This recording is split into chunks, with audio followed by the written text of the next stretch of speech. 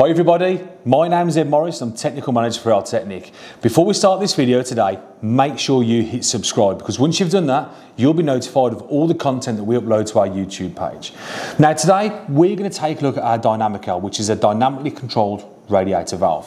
What we are going to do is take a look inside the valve, have a look at some of the components that are in there, but I think first of all it's important to understand what the valve does and what key features it plays within the system. Now one of the big issues that we have with balancing secondary circuits or tertiary circuits, which is your radiator circuit, is the issues of imbalance. Now we can all set our system as best we can with standard TRVs or whatever you may choose to do it, but what happens is if there's a change on the system, it becomes unbalanced. That means that there's more or less water going to certain heat emitters or radiators and that can cause real problems with imbalances. You can have issues with return temperatures. So we have to try and find a way to overcome that, and that's where the Dynamical comes in. Now what the dynamic Dynamical does, it works what we call pressure independent. So it's like a pressure independent control valve and it turns every single radiator into an individual zone or individual circuit. Now what that means is if any change in the system, should a radiator be closed off or, or more flow added through a radiator, it won't impact any other radiators on the system that have got a dynamical valve in, uh, in, inside there. So it controls pressure, it controls flow, and it can control temperature. And all those features are key to making sure that the system remains balanced, especially on things like low temperature systems or low temperature networks, where we want to make sure that we're getting the most flow or, or, the exact flow through every heat emitter to make sure the system's balanced. These are really good for that. And on the top of here, you just remove the cap. You'd standardly have a, uh, a TRV head on this, so a thermostatic radiator head.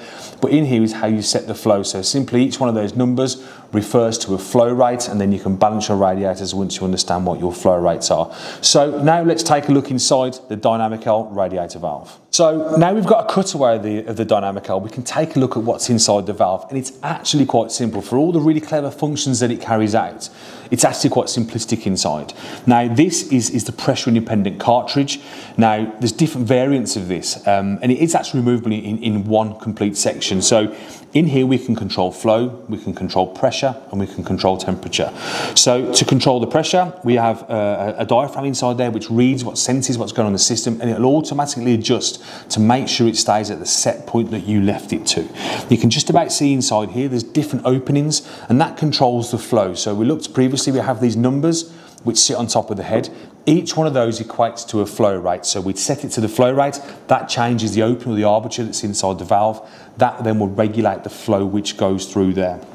Temperature wise, we would stick a, a, standard thermostatic radiator head on there, so that then would sense the room temperature. So we talk about controlling the flow, but we also got to control the temperature.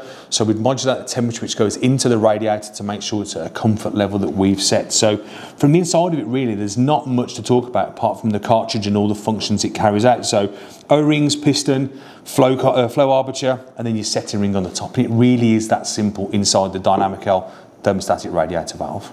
So thank you for watching today's video on what's inside a Dynamic Dynamical radiator valve. I hope you found it interesting. Now, if you want any more information on this valve or any other valve in our range, visit our website, which is www.altecnic.co.uk. Thank you for watching.